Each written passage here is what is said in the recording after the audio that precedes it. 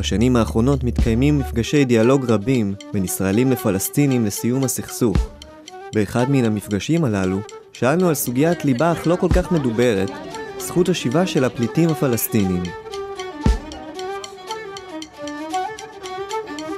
לא, לא, לא מזכר בזכות השיבה. אני לא חושב שכדאי להזכיר ואין צורך להזכיר את זה. צריך לדבר על הכל, כי צריך לפתור. אם זה, יש צד שחושב שזה בעיה שהוא רוצה לדבר עליה, אז מדברים. أنا بشوف إنه اللاجئين هم أصلا أساس القضية وبنفعش نحل قضية بدون الأساس تبعها أنا عائلتي من يافا ولازم نرجع على يافا لأنه هي بلدي بس أنا ما عندي مشكلة إنه أعيش بيافا بين يهود بس تحت مسمى فلسطين يعني מאוד יהיה לי קשה להסכים שהם, אה, כמו שהרבה מהם רוצים לחזור לגמרי לכל הגבולות אה, וכל ה... כאילו מלפני שהוקמה המדינה.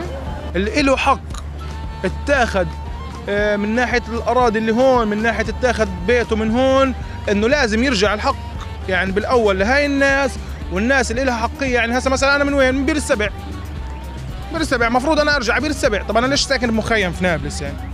اه ابوي من بير السبع اه أنا مولود هناك و... ولي عماتي موجودات لليوم هناك אם יחזרו הפליטים מחו"ל, איך זה ישפיע על החברה הישראלית? לא, לא, לא, אין מקום.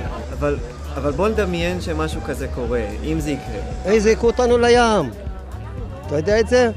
הם יהיו פה רוב, יזרקו אותנו לים. לדעתי לא יהיה כמות גדולה של אנשים וזה יהיה בסדר גמור, זה לא יגרום לשום זעזוע מכל סוג שהוא. אני בעד. כשמדברים על זכות השיבה, הנושא מעלה רגשות רבים וסותרים. אך מה שבטוח, אין הסכמה איך השיבה תיראה. החזרת הפליטים תהיה רק בשטח של הפלסטין. שתוקם המדינה הפלסטינאית. ואני חושבת שאם אה, מישהו מדבר פה בארץ מהממשלה שלנו ומפחיד את האנשים, זה ממש אה, סתם הפחדה. أنا سمعت على الأغلب بدهم هذا يعني يرجعوا على الضفة إذا بدهم يرجعوا غير هيك لا يعني عيافة عحيفة لا هاي كلها دولة إسرائيل אם זה יעמוד על בסיס הומניטרי, נניח יש משפחה שהיא אה, נפלטה מיפו, ומה שנשאר ממנה זה זקן וזקנה שרוצים לבוא כדי שיוכלו להיקבר כאן, אז יכול להיות שבממדים מסוימים זה יהיה לגיטימי לחשוב על זה ולפתור את זה. عمرك رحت على المخيم أنت؟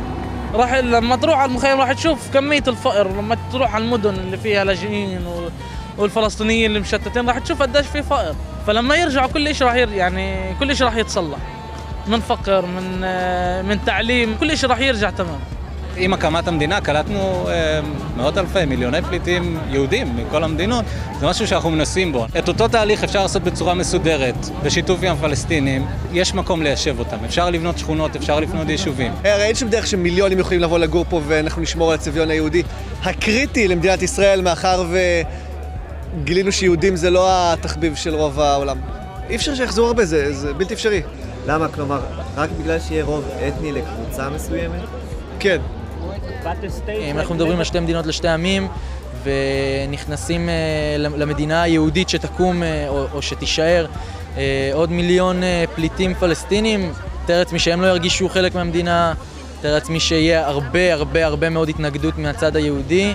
كيف تؤثر عودة اللاجئين عن المجتمع الإسرائيلي؟ يؤثر ايجابيا يؤثر ايجابيا اذا انتم بدكم ترجعوهم وبدكم يعم السلام فهم مش راح يسووا إشي بس طول ما هم برا يعني مش راح يعم السلام ولا راح يكون في امن ولا راح يكون في إشي אני רואה הרבה אלימות שיכולה לקרות, ו...